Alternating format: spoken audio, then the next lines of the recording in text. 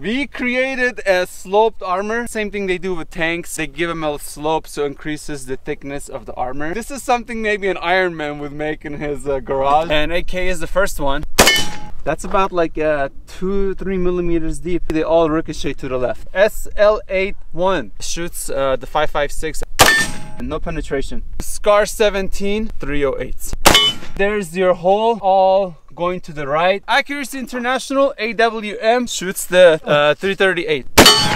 Wow. Hasn't even gone through halfway of the steel. Serbu BFG 50A armor piercing incendiary. That's the most damage we've gotten so far. Did not go through. We're gonna change the position to be not angled anymore. We're gonna go dead on like that.